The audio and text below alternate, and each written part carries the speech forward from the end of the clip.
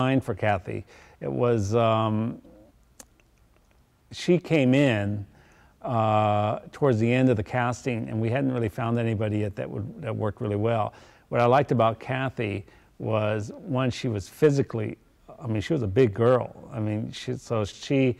I thought that that fit what we wanted to try to do and to establish some different physicality differences between people on the surface of the earth and people who had to live, you know, closer to the center of the earth where the gravity would be much more intense and probably stunt their growth a little bit. So that was kind of the, the when I saw Kathy and she came in for her audition, that's what I realized, realized right away that she was kind of the perfect choice because uh, I think she came in in a big fur coat too, and so she was she just filled the whole room because she was tall and and and uh, statuesque. That was also the era where hair was bigger, and so it really it it really fit the image that I had uh, thematically for the for the movie. When we auditioned her and had her read, she, this voice came out of her that was kind of shocking. At it, I, it was a very high pitched sort of little girl's voice, and I thought that worked also because of the idea of, the, of being basically being an adult trapped in a